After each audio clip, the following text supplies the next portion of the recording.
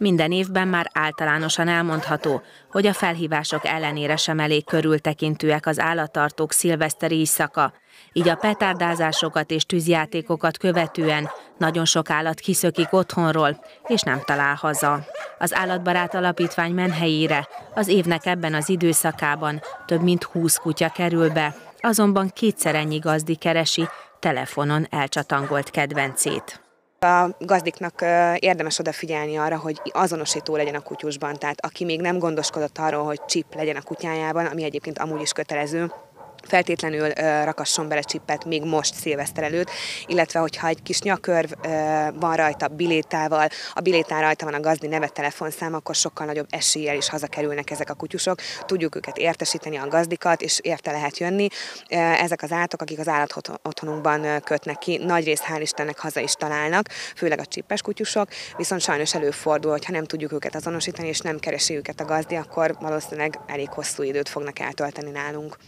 Ha tudjuk, hogy kedvencünk bármilyen erősebb hang hatására érzékenyen reagál, óvintézkedésként jobb, ha még az új év előtti nap egy biztonságos helyre bezárjuk. Amennyiben otthon töltjük a szilvesztert, akkor az esti etetés és az utolsó séta időpontját úgy válasszuk meg, hogy megelőzzük a duroktatás kezdetét, az éjfél körüli kritikus órákat pedig, ha tehetjük, töltsük együtt az állattal.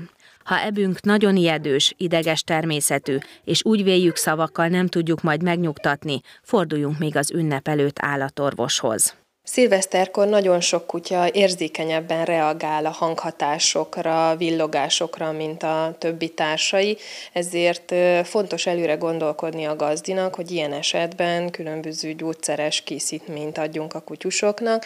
Itt léteznek gyógyhatású, gyógynövénytartalmú készítmények, illetve van, akinek sajnos erősebb gyógyszerrel van szüksége. Viszont ezek nagyon erős hatású gyógyszerek, az ott otthoni házi patikából ne keressünk semmiképpen se a kutyusunknak nyugtató készítményeket, hanem keressük fel állatorvosunkat, és a pontos adagolás betartásával próbáljuk meg ezt használni, megnyugtatni az állatainkat szilveszter estéjén.